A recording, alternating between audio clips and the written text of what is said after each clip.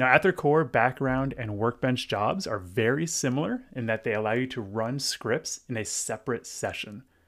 This is a great feature for any long running scripts you may have, including, for example, a machine learning training step. It also allows you to run multiple jobs simultaneously. Now, the main difference between background jobs and workbench jobs is that background jobs run as a child process within the same session. And workbench jobs run as a new session, either on the local server or off host if you're running in a multi server or clustered environment. So to demonstrate these two jobs, I'm going to first open up the currently running RStudio session you see right here on Posit Workbench. And in the top left corner, you'll see, you'll see an R script called long running script. In this script, I'm first loading some R packages. So we're loading the tidyverse. And then I create three variables, X, Y, and Z. And I assign them the numeric values one, 2, and 3.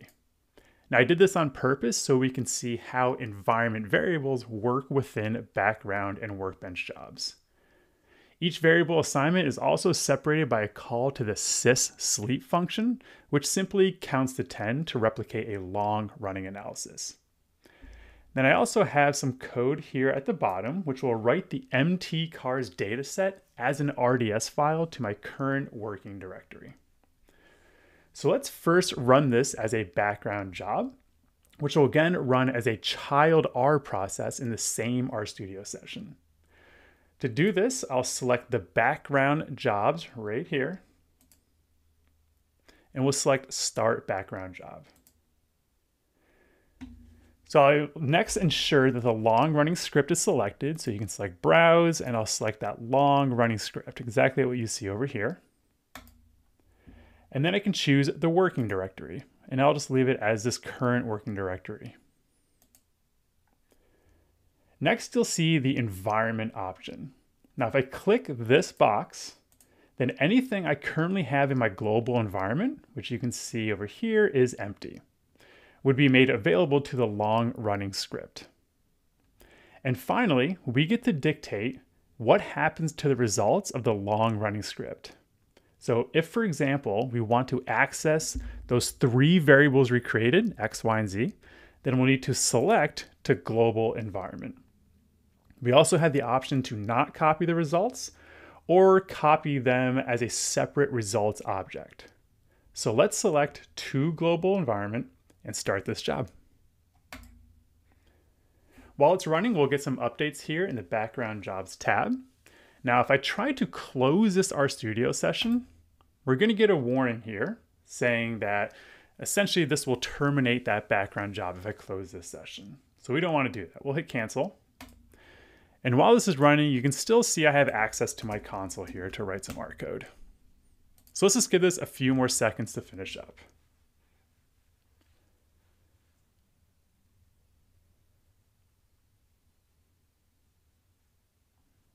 And there we go. We can see the three variables we have copied uh, to our global environment, X, Y, and Z. And the MT mtcars dataset is now in my working directory. Now, let's demonstrate workbench jobs, which will again run in a separate R session, again, either on my local server or off host, depending on how you have workbench configured. So let me first delete the empty mtcars dataset right here. And I'm going to restart my R session.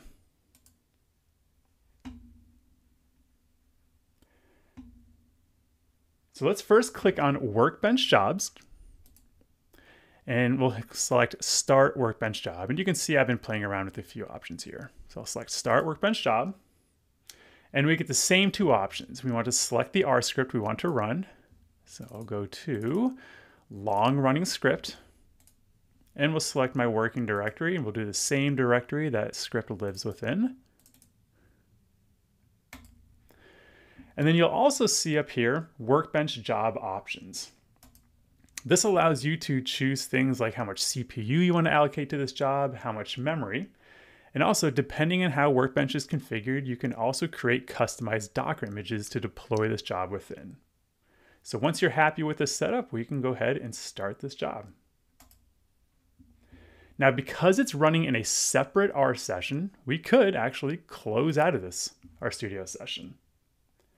And if we do that, you can see in the top right corner, you can actually see the long running script is running as a workbench job. So let's actually open up that same RStudio session we were just in.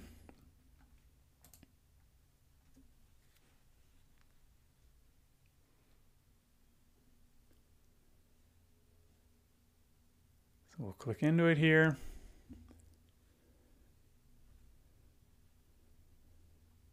And if we go back to Workbench Jobs, you can see it's almost done running. It has finally succeeded. If I refresh my working directory, we can now see the MT MTCars dataset is now in my directory. Now finally, it's worth noting that you can also run Workbench jobs from within VS Code on Posit Workbench 2. So if I go back to the Posit Workbench homepage, you can see I have this VS Code session opened up. So I can click on this and here we have that same long running R script we showed before. And on the left hand side, you'll see workbench jobs. And so if you wanted to submit a workbench job through VS Code, we just have to click this little plus icon.